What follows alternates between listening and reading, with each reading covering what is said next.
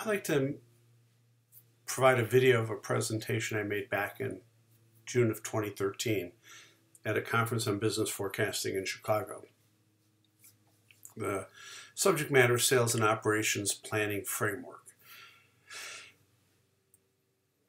Uh, first, a little bit about my company, which I'm actually doing this for educational purposes at this point, but my consulting company is CR Supply Chain Consulting.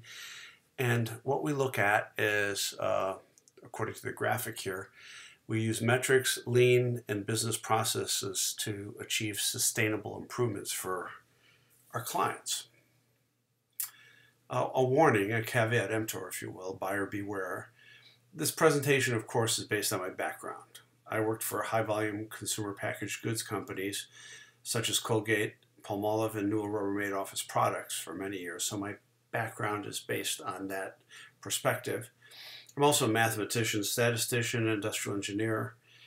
When it comes to uh, psychology and philosophy, I'm more of an armchair uh, devotee, and I absolutely hate SLOB, which actually stands for slow and obsolete inventory.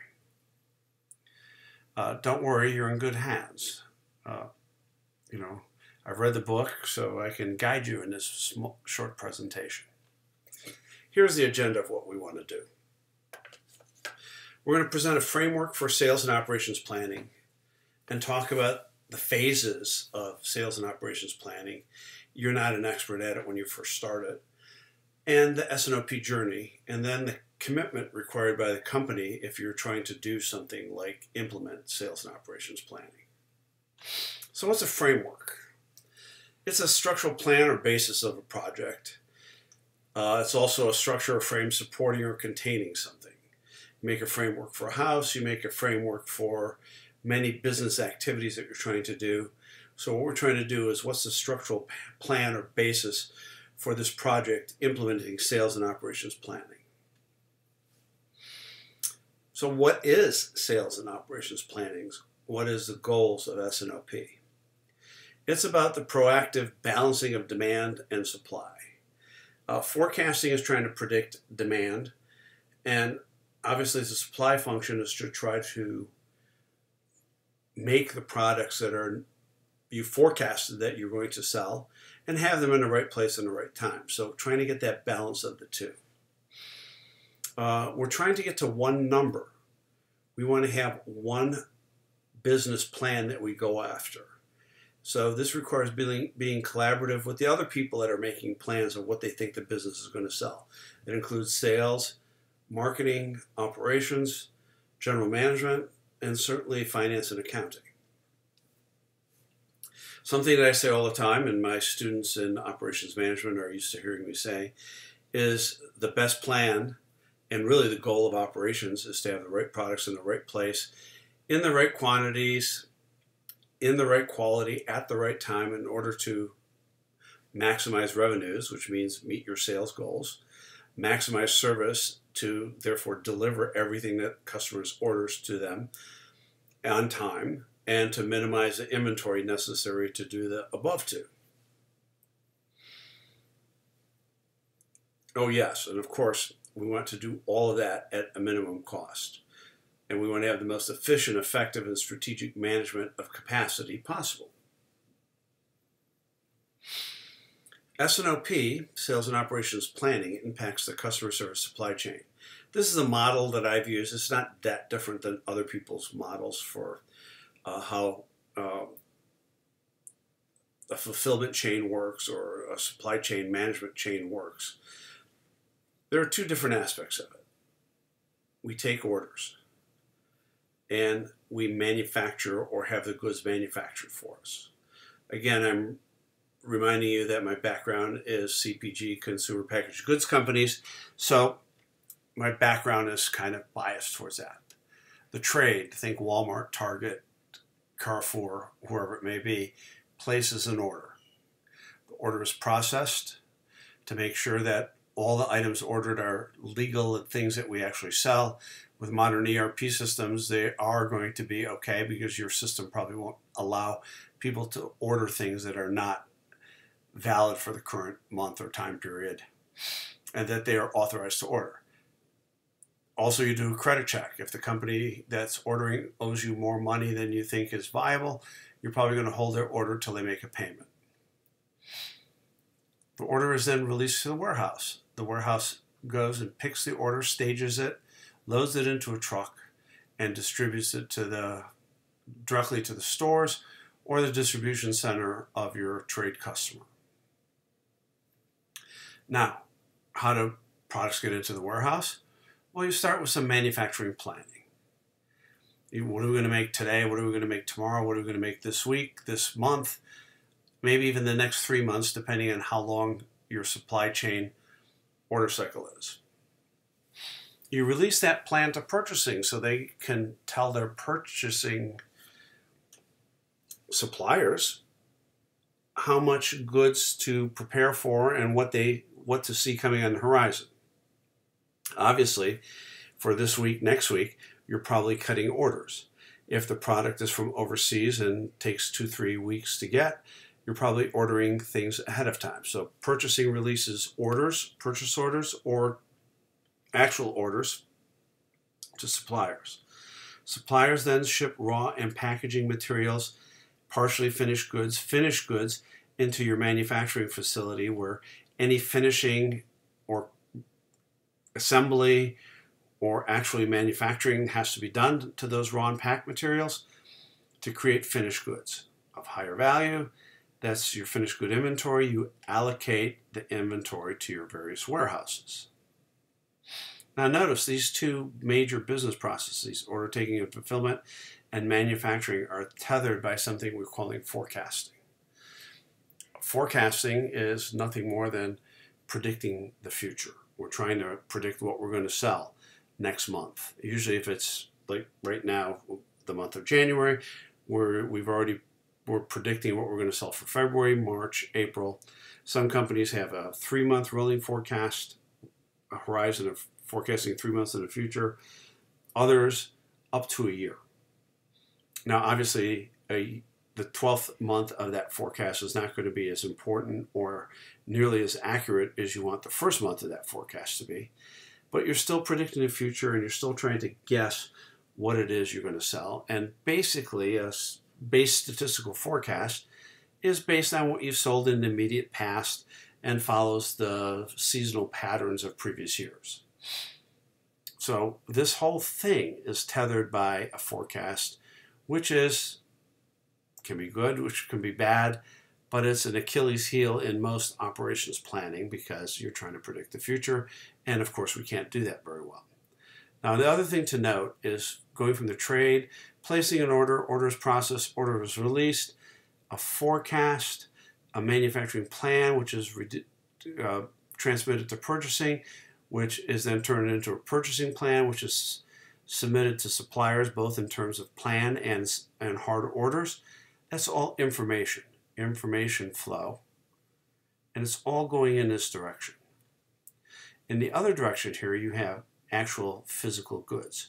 Suppliers providing raw pack assemblies, uh, partially finished goods or finished goods to manufacturing, which you maybe do a little bit more work or packaging to them, or actual transformation of the raw and packed materials into finished goods which you have at your manufacturing plant, and then you allocate them to your various warehouses or distribution centers, and then those goods stay there until they're distributed, picked for distribution to the trade.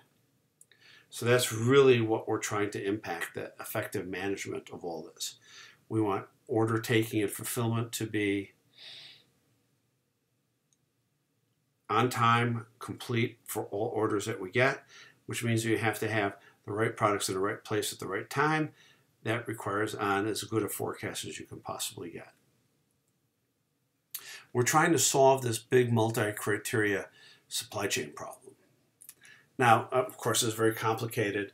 And the reason that we don't solve it just as a multi-criteria optimization problem is because we're trying to optimize four things. We're trying to keep costs down, inventory down, service and quality up and we're looking at manufacturing lead times, transit times, production rates, production capacities, warehouse utilization, transportation equipment availability, demand volatility, and you're looking at this for every SKU you make, which are the I um, subscripts at each plant or supplier, and how many plants and suppliers do you have at the J, and that, that the subscript J stands for those, and you have K distribution centers. So if you have, you know, 2,000 SKUs, you have uh, three, four factories or suppliers that make finished goods for you, and you have five distribution centers, you can see how complicated all of this could get and the amount of data that you have to track. This just gives you a perspective of the kind of problem and the complexity of what we're trying to do. So when we talk about sales and operations planning, we have an organization, we have standard operating procedures, the process itself, uh, the support to make everyone play nice, the data to drive it, the phases, which are the evolution and continuous improvement of that. So that's kind of our framework that you want to have before you even start. Then you want some execution plan and the KPIs, uh, key performance indicators, to know how you're doing. Basically, from the book by Wallace and Stahl, sales and operations planning is a five step process. It works on a monthly drumbeat. So, step one is gathering data. You do actually a demand plan, which is a base statistical forecast. Um, it's based on sales actuals, and statistical forecasts.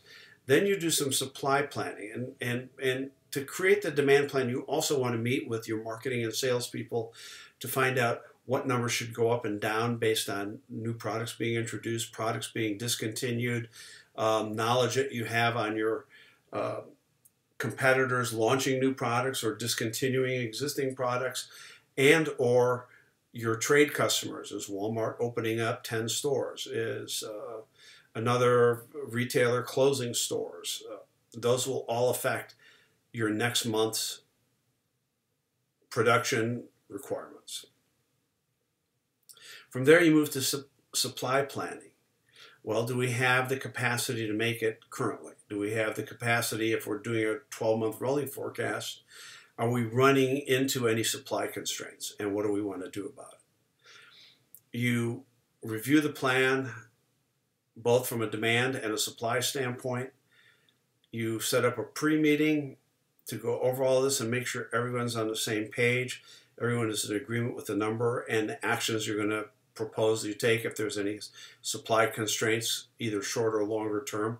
Most of the time, we're talking about midterm supply constraints with sales and operations planning. And then you have a meeting with the executive team. Um, and that meeting is for information, to convey the demand plan to them uh, and have them help resolve any conflicts that may be there, um, be it in the demand planning side or the supply planning side. And then you go forward and execute that the following month, and you repeat this every month. So let's look at the phases of the S&OP journey. Implementing sales and operations planning is a major business process. It's complicated. It runs on a monthly cycle, as we've discussed, and really a four week drumbeat. It involves functions that are not known for cooperating and collaborating with each other. We're talking about supply chain or operations, we're talking about sales, we're talking about finance, we're talking about marketing and other activities. So it's a process, and the graphic here, it's a process, it's a process, it's a process. Change takes time. You have to know that going in. If you design this thing according to, you know, even get a consultant to help you or do it yourself and you read some stuff, you benchmark other companies, it's not going to operate at a high level when you flip the switch the first time. So it's very important to notice both. It's a process and it's complicated. if we look at the perspective from different parts of the organization, well, finance, what do they want to do? They have a financial budget. That's kind of their forecast for the whole year, and they want you to hit the budget all the time. Uh, C level execs kind of agree with that too, because that's what you've communicated to the street if you're a public corporation. Sales and marketing want to maximize revenue and market share, and they really want guaranteed product availability if they've gone through the effort and made a sale and the supply chain can't deliver that product, um, they're not happy campers. They've already made the sale, then they've got to go out and sell that same volume again, either to the same customer or someone else. The supply chain wants a feasible plan. They want a bottom up focus. They want to minimize risk and disruption. In fact, the supply chain would like to have like one SKU and just produce it all the time and have a predictable flat demand. Uh, that's not possible either.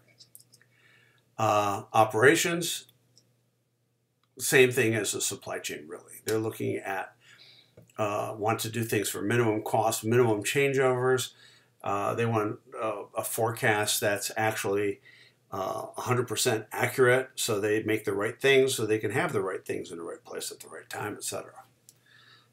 So you can see that everybody has different ways of looking at things. Uh, salespeople, marketing people are eternally optimistic. They always think that we're at the beginning of a dramatic increase in sales. And we know that's not realistic. They probably tend to overestimate, uh, if they make errors at all, on how promotions are, you know, the numbers for promotions. So here's three myths for sales and operations planning. It's over at go live when you flip the switch it's a demand planning led effort, and demand planning often reports to operations or supply chain. And myth number three is software will solve everything. The truth for myth one is it's just the beginning. You have to constantly be aware and close the sociotech gaps. And we'll talk more about what that is. So go live is just the beginning. It's it's a complex socio-technical process It's replacing uh, a process that needs improvement and everyone knows needs improvement, but that everyone was very used to operating within. It, the current process for most companies, if they don't have S&OP already, is probably a siloed functional process where there's finger pointing and bickering, and um, the supply chain is responsible for the demand plan. And uh, the sales have a plan and maybe they work together maybe they don't. And if things don't work out it's your fault you oversold it's your fault you didn't produce what we sold etc uh, will not work as expected coming out of the gate it's a process that needs continuous improvement and refinement so go live is just the beginning uh, you need a continuous improvement process built into it and you need key performance indicators that will help you track how you're doing. So you need operational KPIs. You need things such as you know that, that define your results. What's your demand plan accuracy? And let's face it, demand plans are less accurate than we like to believe. Um, a MAPE, uh, mean average percent error of 35 or 40 percent, is probably a, a good threshold if you can get 50%, you're probably dancing in the street. Anything higher, you're you've got a really rational, predictable product. But most times, the demand volatility for the number of SKUs we sell is really high, and you'll you'll not achieve that. Uh, you want to look at your inventory. Are you meeting your inventory objectives? And keeping your inventory is not growing out of hand means that you're probably doing a good job. And of course, customer service, on time and complete deliveries, line fill, case fill, however you want to look at that. But secondly, things that most people do not track and probably should is participation KPIs. Is everybody that's supposed to be part of a meeting there? Are they prepared?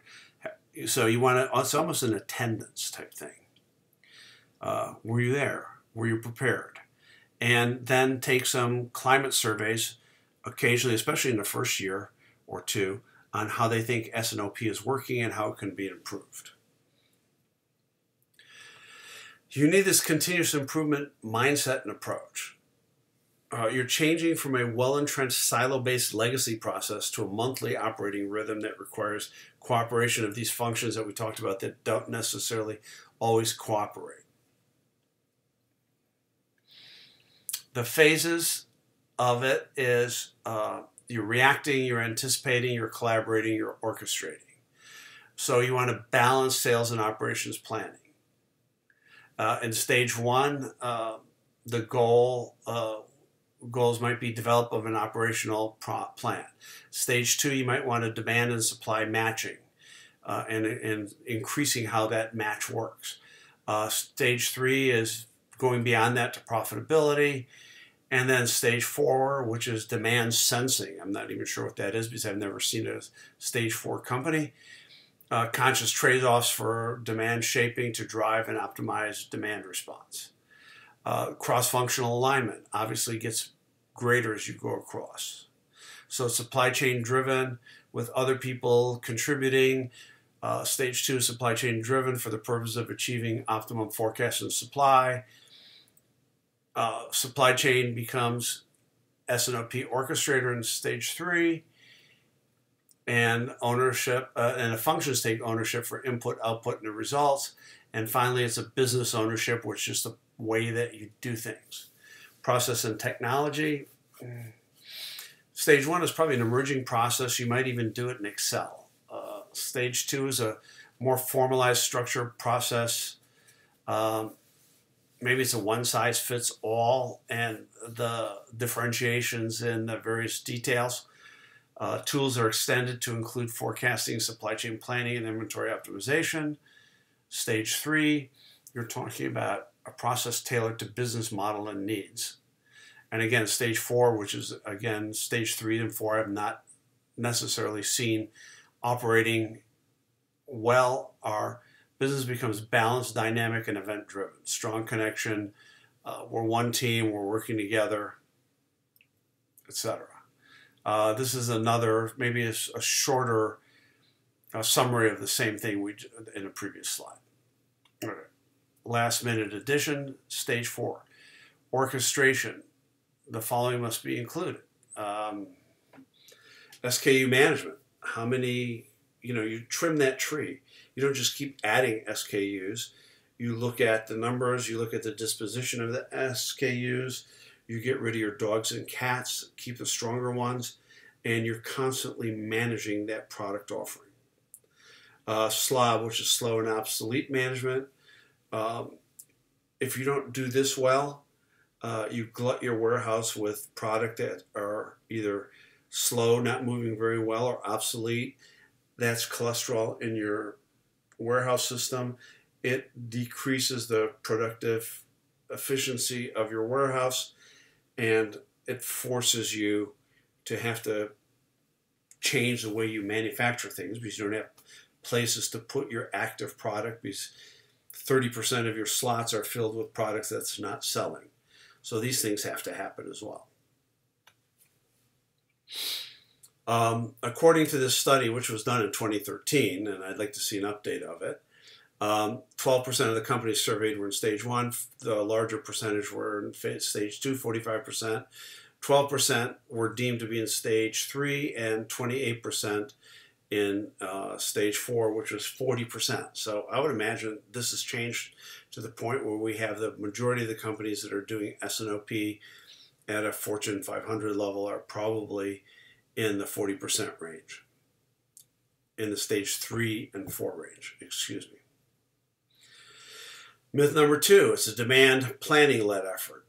It is not a supply chain led effort either. You can start that way, but it has to be business led project to succeed. And the executive team has to drive it. Myth number three software will solve everything well, software does not solve everything when you don't have the good business processes already in place and people that understand how the new improved business process will work and properly and properly execute it. Um, you have to have good data management. Then, if you have good business processes, all the people are aware and properly executing it with good data management. So, in other words, you're not putting garbage in, which means you get garbage out then software is a powerful enabler. But to think that software will solve all your problems is a myth. It's a long term project. If you look at the graphic here, here's the stages the, from the, one of the previous charts. And stage one is like crawling, maybe stage two is like walking. Then we're talking about stage three is running, stage four and five are sprinting. So you crawl, walk, run, soar I guess you could skip the processes, but really, from a developmental standpoint, you know, you shouldn't go from like being a, an immobile baby to just walking. Uh, there's a school of thought that says uh, crawling is developmental and it adds to your knowledge and solidifies behaviors in a certain way. So I would think the same is true here. It's um,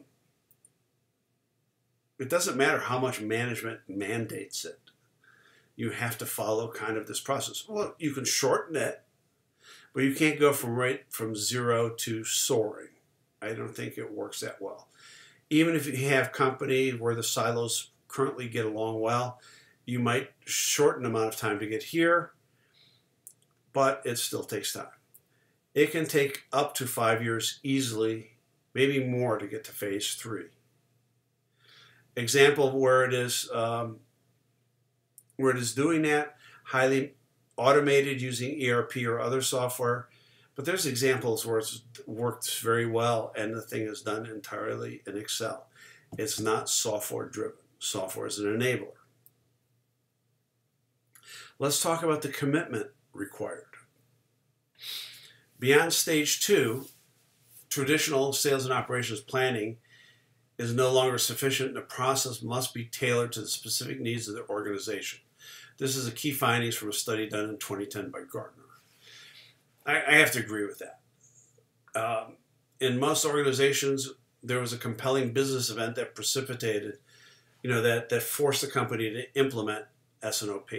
Usually it's a frustrated uh, executive team that says, I can't believe how inaccurate our forecasts are, how bad our customer service is, how poorly we managed inventory, and they hear or read about another company, maybe from a colleague of theirs, or something they've read that says sales and operations planning is the solution. They bring it back into the company and say, we should probably do this. Once sales and operation planning process matures, it should no longer be owned by the supply chain, but by the business leaders. And it now becomes the legacy way in which people do work. But it's a huge change. And it's like a monthly process that you follow, just ongoing. So it takes a long time to get it going. Um, it can build momentum as the leaders see the value of it, certainly but it can also stumble early on because people don't want to play. And if their leaders are not insisting that they play and insisting and understand that participation is required, even when people don't want to participate in the beginning to make it develop and work, it will stumble and fail. Um, and it has stumbled and failed in a lot of companies. Where it has failed, they almost have to use another term if they launch it again because sales and operations planning term is tainted and so it has to be renamed or rebranded moving forward. You probably want to do some assessment of, of, of the maturity in order to build a roadmap to evolve through these stages. You want to have a clear executive led business motive and common business metrics that transcend functional areas to break down the silos. And you want that to drive active participation and investment in the process. So it has to be executive led. There has to be good business motives and clear metrics that will help make these functions operate in a way that they're probably not used to operating in the past. You want to have coaches and provide tools to help sustain the process and make change, manage the change. Software, again, might be a tool. It's not the end all. Uh, you want to make the process fit the nuances of the business, even though the the basic framework of the process, the steps from the uh, Stahl and Wallace book that we looked at earlier, are still there, and that's what you'll be using um, you might want to consider a multi-tier approach to cater to different planning horizons and business models. If your products aren't homogeneous across your business units, uh, they may have different planning horizons. And sometimes that planning horizon is defined by your customer. I think Walmart looks for 18 month rolling forecasts from their suppliers. Uh, so guess what? You better have 18 months rolling forecasts to prevent, present to Walmart every month. So if you have to do that for Walmart and they're 30% of your business, well, you're probably going to do an 18 month rolling forecast for everything, even though you're not going to supply it to them uh, to that extreme. And you want the right balance between process improvement and enabling technologies. Remember, this is a, a process that's both human and technology led. Okay, so here's some of the single largest challenges from the uh, from a supply chain insights uh, survey that they did in April May of 2013. Understanding and support from the executive team that was like the highest part. And it didn't matter if it's a discrete business or a process business. Discrete businesses, we make, um, I don't know, what do we make? We make things, we make widgets, individual widgets. Uh, uh, processes where you have a continuous flow, like oil refinery or something of that nature. Uh, technologies that support the process, that was a single challenge. Execution of the S&OP plan is next. The role of finance in the budget is a smaller. Clarity of supply chain strategy and supply chain excellence then. Availability of skilled resources follows that. So clearly, understanding the support from the executive team is the number one thing. We'll talk about that more later. Well, right now, actually. As Kaoru Ishikawa, one of my favorite uh, quality control gurus, said, if there's no leadership from the top, stop promoting TQC. It's from his 1985 book, What is Total Quality Control? That was the single biggest impact of that book. And there was lots of big impacts in that book in my life and my career. But if there's no leadership from the top, stop it. If there's no leadership from the top that has an appetite to do S&OP, you're not going to succeed. Same thing. Forget about it. It's almost a cliche. Nothing that's complicated and nothing that involves significant organizational change, cross functional work, and buy in will work without executive team leadership. Not quality, not new product development, not implementing an ERP system like SAP or Oracle, and of course, S&OP. Management's role. The executive team has to know their role and the importance of their role, the critical importance of their role. As soon as people see the executive team not having an executive meeting, not following up on the actions or the KPIs and SOP in general, um, not being upset if their people are not participating in the meetings or actually drawing, you know, take them out of the meetings to do something they deem more important, SOP will begin to die and it dies very quickly. and it will begin to die no matter what the practitioners do.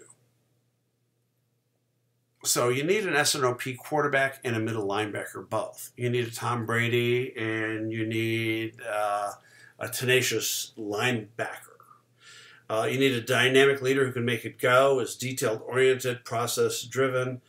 Oftentimes, someone as good at this becomes a lifer in this role. They can be skilled and deft at uh, moving around the organization and being intricate, but they can also be tenacious in busting down walls and, or in this case, busting down silos. This is a unique person that you task with this at the very front end. And if they're good at it, like I said, they probably become a lifer in this role. So here's some references uh, to sum up this presentation uh, sales and operations planning maturity. What does it take to get and stay there? Sales and operations planning, the State of the Union, which was uh, Lora Cecere uh, Supply Chain Insight report. And if you go to her website, Supply Chain Insights, she is kind of like the S&OP guru. And I had another presentation that I gave uh, closing the gap between people and processes. I talk about the socioeconomic aspects of making sure that people and the process get aligned and how to do that. So there's more information you can find out. If you, for some reason, other than have to write a paper in a class that I'm teaching, need help on this, I'm happy to do it. Here's my contact informa information, and I will still uh, still do consulting And if you have any questions, please uh, bring it up to me in class or send me uh, an email or text to the phone number and email address here. Thanks a lot for your attention, and I hope you gain some insight from this presentation. Thank you very much.